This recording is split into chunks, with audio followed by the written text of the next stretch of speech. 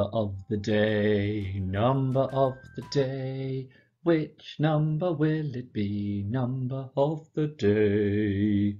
And look, you can see the number is 17. That's our number of the day. There's our number shapes track. Can you see it? Can you see where 17 is? Remember, look at the number.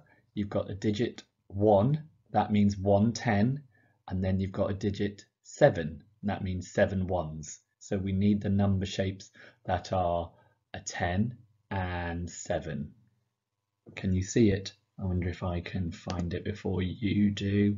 Mm, here it is, 17. Well done.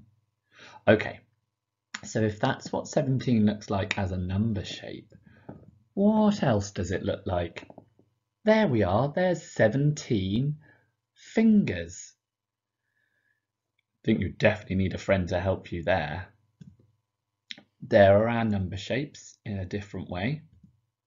There's 17, and that's how you write the number 17. Now, can we think of a number that is fewer than 17? So all the numbers on a number track that go from 0, 1, 2, 3, 4, 5, 6, 7, 8, 9, 11, 12, 13, 14, 15, 16, they're all fewer so what number can you think of that's fewer than 17? I thought of the number, wow, 11, number 11. Let's think of a number that is more than 17. You might think of a number that is lots more than 17, really large numbers. Or you might th think of a number that's only a few more than 17.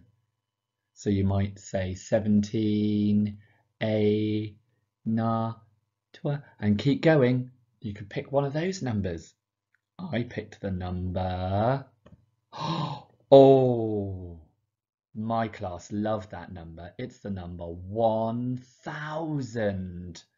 That's a big number. Imagine if you had a thousand of something. Okay, but let's think of the number then just one less and one more. So let's put 17 in the middle and there's our number track and you need to find 17 and then think uh, what comes before 17 by doing one jump down the number track um, towards where the numbers are smaller and then back to 17 and do one more by doing one jump so the numbers are getting bigger. So um, I'm going to make the number track disappear now. So one less the number that you say just before you get to 17 is 16.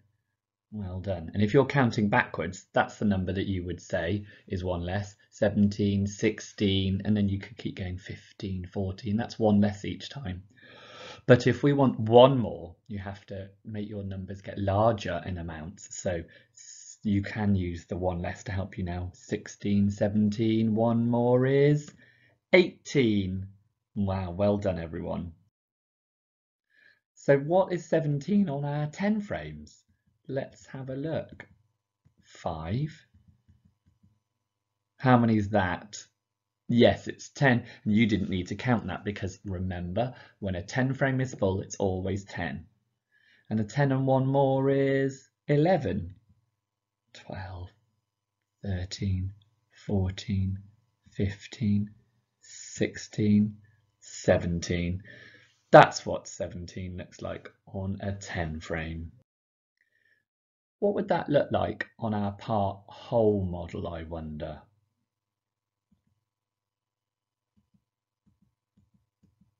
Make 17 as our whole.